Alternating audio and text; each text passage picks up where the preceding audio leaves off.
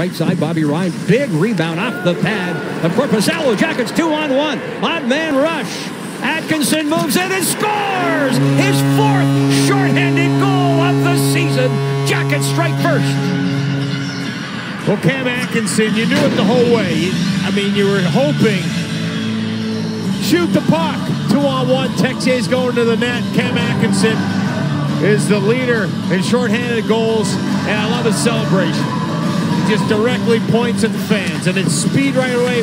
Big rebound off the Bobby Ryan shot. He's got no chance of getting back. It's two on one, but Juice realizes a little late that Cam Atkinson is going to put this in for the fifth line here at Nationwide Arena. Puts it up top, looks at the fans, and says, Welcome back.